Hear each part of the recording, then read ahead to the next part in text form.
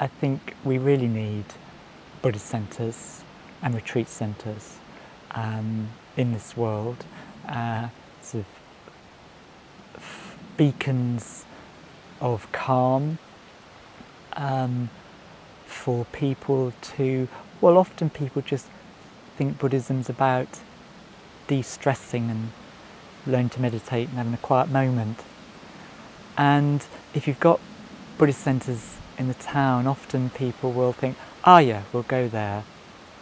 And they go to learn to meditate and of course they find something much, much more.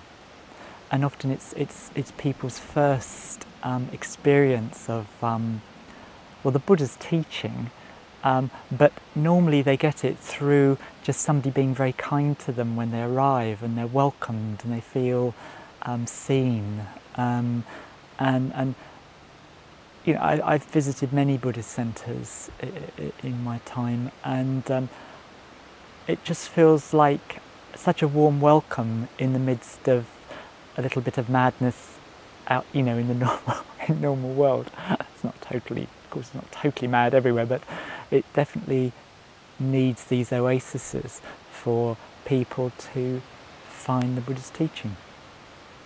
And I think this, well, the same for retreat centres um, exactly the same. So people can take time off of their ordinary everyday life, even if it's for a weekend.